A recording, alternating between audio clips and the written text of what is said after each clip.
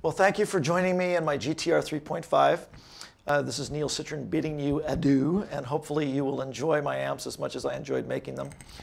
And uh, I'm just going to play a little piece of music for you and uh, show you a couple little chord sounds and some soloing just with one, one amp. And hopefully you have a good time and uh, wish you all the best. Thank you.